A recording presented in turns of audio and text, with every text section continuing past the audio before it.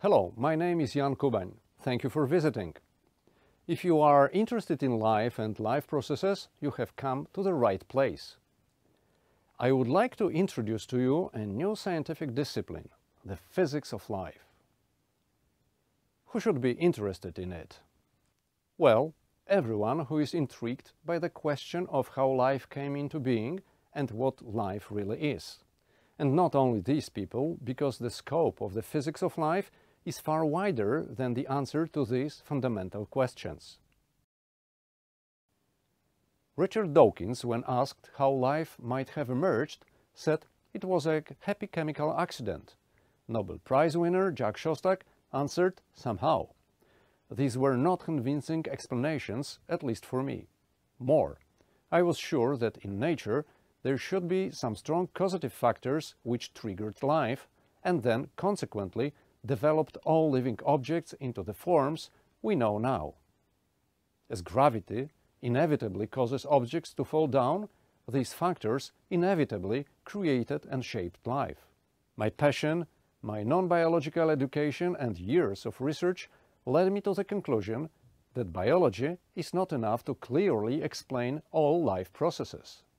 So in 2009, the physics of life was created a new scientific discipline incorporating biology, obviously, economy, since all living objects without exception actively absorb resources, its economy.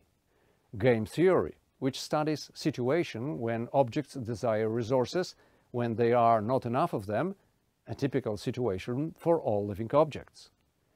Aeroelasticity, the discipline which helps to understand how biological evolution might have been triggered on the self-excitation principle. Information technology, due to which one may easily understand how information in general and genetic information in particular arise out of nothing. Chemistry, which explains the causative factors which resulted in the origin of life. Because there is no other way, these factors must have come from the properties of chemical particles. Systems theory and stability theory merge the aforementioned disciplines into the physics of life. So you know what the foundations of the physics of life are. Now let's talk about the topics which can really entice you. Information is an emergent property of matter. There are five fundamental properties of matter which initiated biological evolution. Biological evolution was triggered on the self-excitation principle. Darwin was wrong that natural selection is based only on the struggle for life. Darwin's famous tree of life is incorrect. Life contradicts the second law of thermodynamics. The mechanism which introduces novelties into subsequent generations of living objects is the simplest mechanism known in technology. It's a ratchet. To be more precise, the evolutionary ratchet. The economic law of comparative advantage explains why our cells differentiate. This is a list of fundamental issues to which the physics of life gives logical and consistent explanations. To entice you more, I will list some new concepts created and new phenomena discovered by the physics of life. The RPD phenomenon which triggered biological evolution. Synthesizing replicator, which can be considered as a transitional form between chemistry and life. Grpd the basic model of biological evolution. Tactics of structure and tactics of behavior. Because living objects play for resources the way they are built and the way they behave are simply nothing but tactics victory factor and evolutionary ratchet, two concepts which facilitate understanding of how biological evolution creates novelties. Absolute thinking, which is not a natural way of thinking and must be learned, but which allows for a broader view on life processes. Heterogram, which replaces Darwin's famous tree of life. The four principles of the physics of life, that combines together, and encapsulate all knowledge concerning life. They define the relationship between matter, the processes that the matter generates and the feedback of these processes on the matter.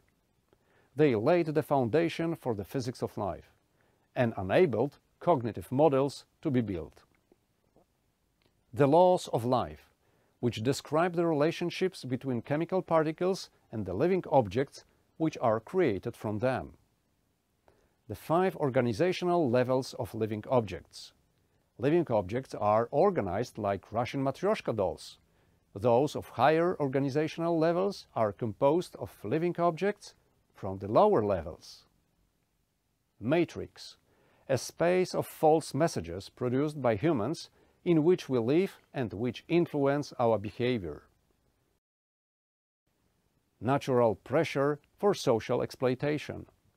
The natural mechanism functioning in social groups which favors unproductivity and explains flaws in the human social systems.